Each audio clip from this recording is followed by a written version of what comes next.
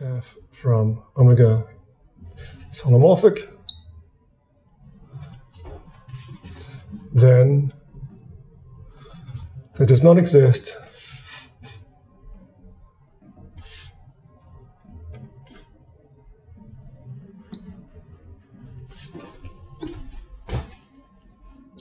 Such that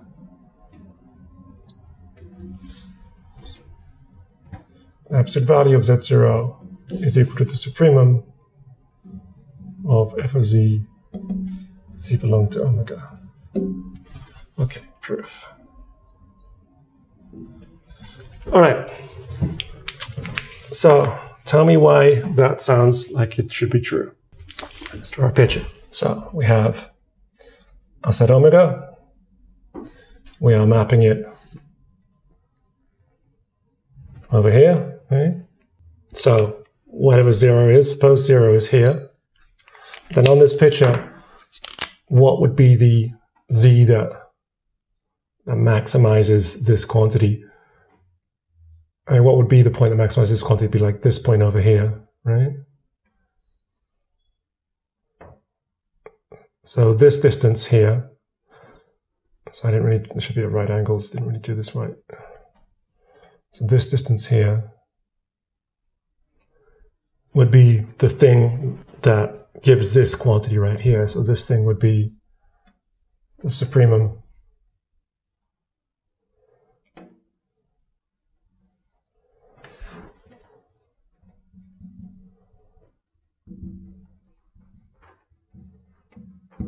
Yeah? Cool. All right. So our claim is there exists no Z0 which achieves this thing. Okay. So suppose that wasn't true. Suppose that wasn't true.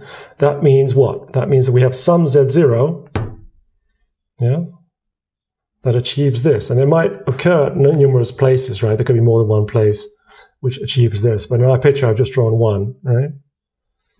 Yeah. So in our picture, if there exists a z0 such that this is true, where is f of z0? Where is f of z0 in that case? Yeah, it would have to be here, right? So if there exists a z0 such that f of z0 achieves this thing, it would have to exist here. Yeah? Yeah? So let's argue by contradiction. So suppose this is false.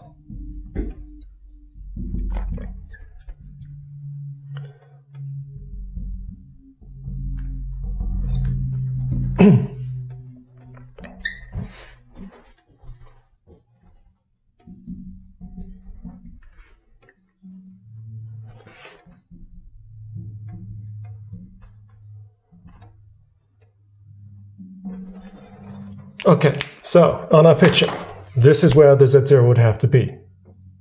Right? Sorry, not the z0, such that the f of z0 would have to be. Right? f of z0 has to be here. Yeah? And why do we not believe f of z0 can be here? It should be an open set. So this thing should have a ball around it. Right? So there should be a ball around this point inside of our set like this. Yeah? And if there was a ball around this guy, then this would not actually achieve the maximum, right?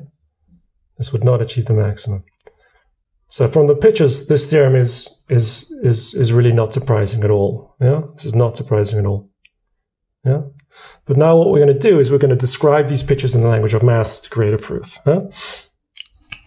Which is what we do essentially all the time, but in this case, it's really rather directly from the picture. So, uh, so suppose such that R is true, then for some delta bigger than zero, we have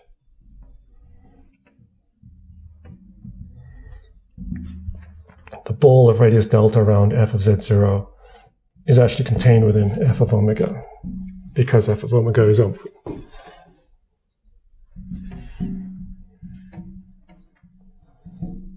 But then consider the point like this. So consider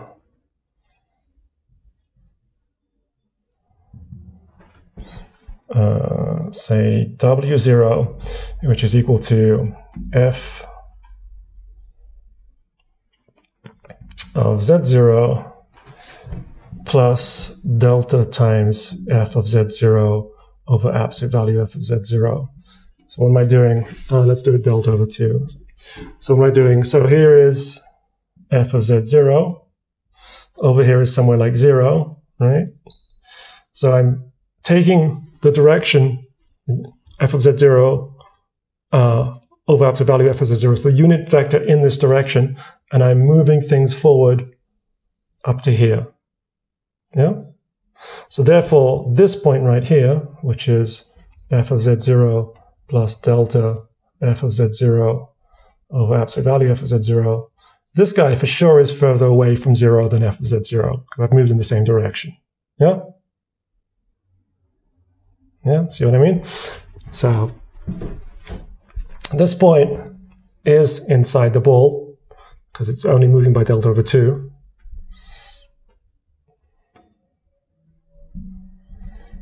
Yeah. So for some, say, uh, let's call it, uh, let's call it uh, Z1 inside omega, we have that that f of z1 actually is w0 Actually, since we're going one, let's call this W1. So f of Z1 equals W1.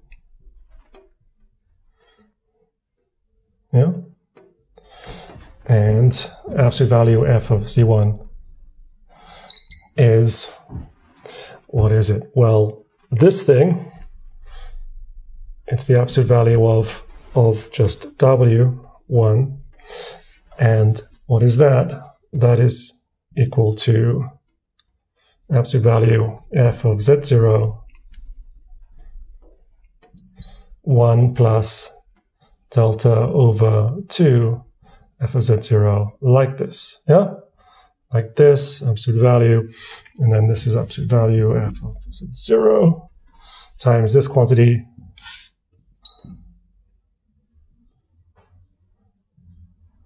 and that is strictly bigger than this thing which is meant to be the supremum.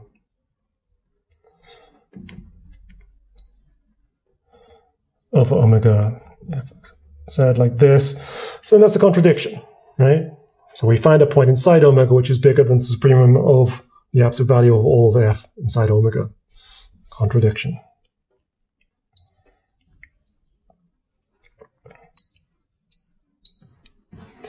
So this is not possible.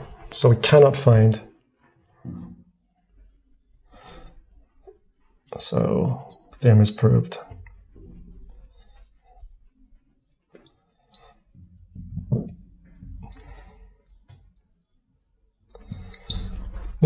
There cannot possibly be a z0 such that f of z0 achieves this maximum, this supremum right here. Yeah? And it's rather, it's rather, rather easy consequence. So writing it out in the language is somewhat long, but it's exactly this picture I've drawn here, right? exactly this picture I've drawn here. Cool. All right. So this is called the maximum modulus principle, and um, it's actually a it's actually a special case of a more general theorem for harmonic functions. So recall what a harmonic function is. So recall use harmonic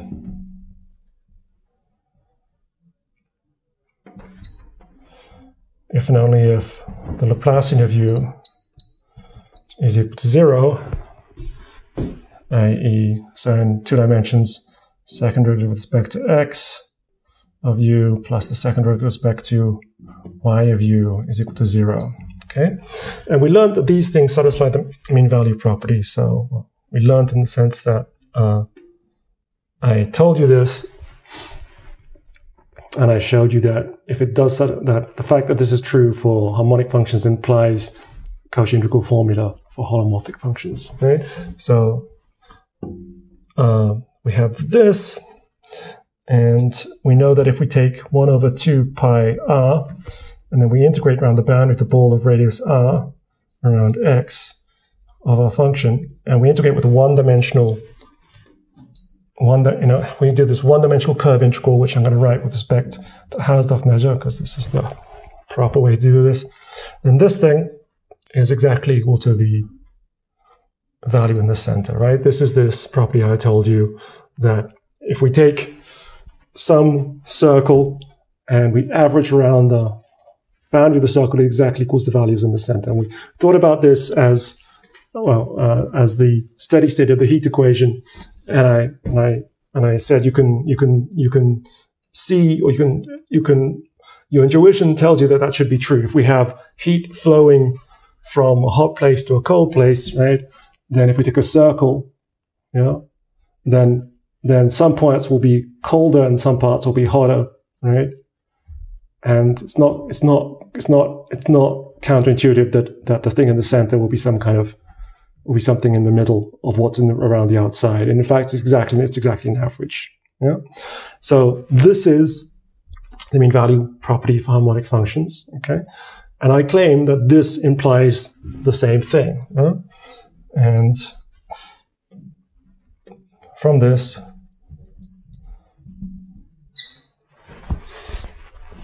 there cannot be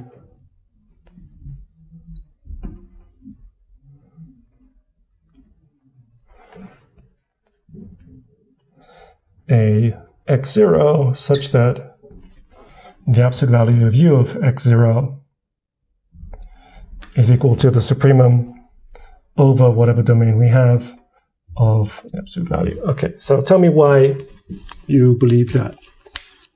Why from this thing here, the mean value property, so this is mean value property,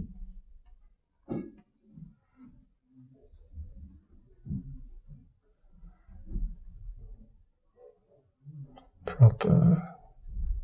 Why do we have the same thing? Try and visualize the situation. Think of a function of two variables as being a mountain landscape always, right? So the x and the y on the on the table, and u of x, y is the height above the table or below the table if it's negative. Yeah? And give yourself a positive function just to make life easier. Yeah? Okay, so why is this true as a constant mean value theorem? Right, yeah. I have to say that, yeah. You cannot be constant. Thanks. If u is non-constant.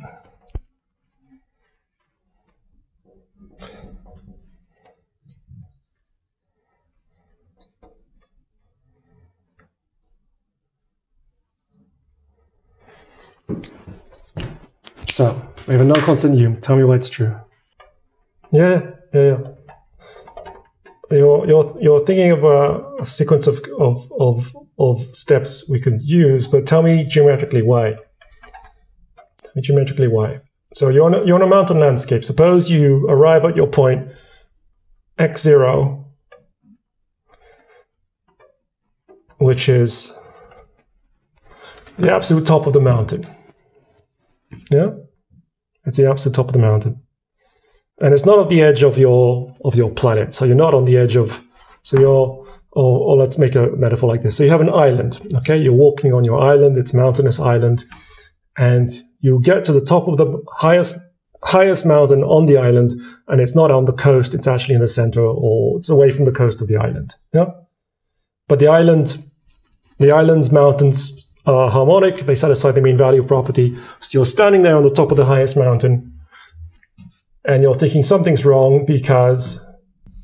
So here's the sideways picture of you standing here on the top of the mountain. Yeah?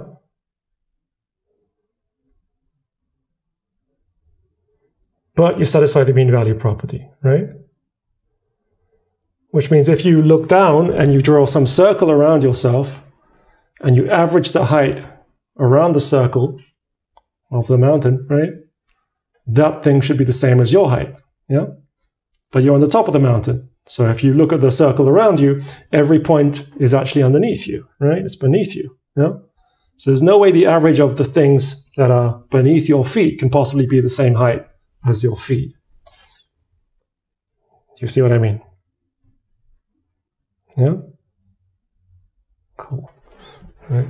So looking from the sideways. If you look at the circle underneath you or any circle, then you see this thing, and it's actually directly underneath you, right? So it can't possibly be the case that the average of those values, you know? And then expressing that idea in the language of maths is exactly the sequence of steps that that that that, Jaime said. So uh, let me draw a little mountain again over here on the side. So this is the mountain. This is you standing right here on the top. And what do we do? So we have that uh, absolute value u of x0 is the absolute value of the average around the outside. So 1 over 2 pi r, the integral, uh, I have to redraw it again a third time, integral of around the boundary of the ball of radius x0 of u of z, dh1 of z, absolute value. Let's take the absolute value signs inside the integral. So we have 1 over 2 pi i, 2 pi r, and then this integral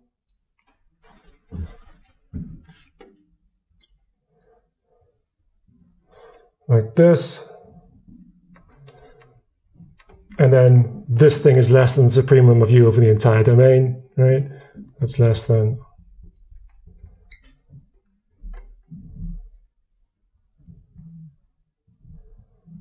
supremum of absolute value of u of omega, dh1 of z. This thing no longer depends on z, we can pull it out. So then we just have that this is just the supremum of absolute value of u over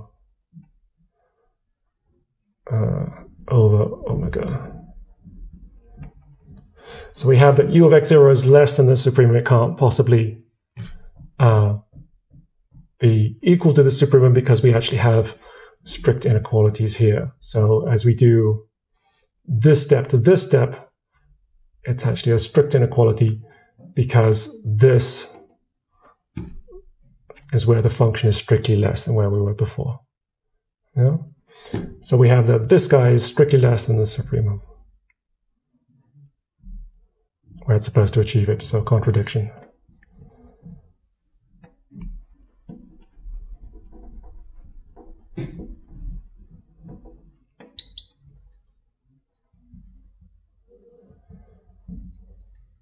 So,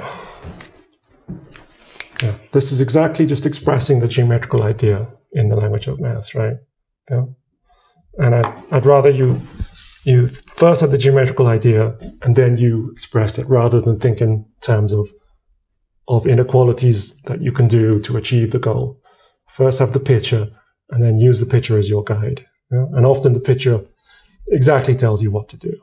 And even when there's no direct I mean, this is a literal translation of the picture, and so is this. And even when there isn't a literal translation of the picture, it's usually because there's been some kind of simplification and uh, optimization. And you can still prove it just directly following the picture if you have clear enough pictures.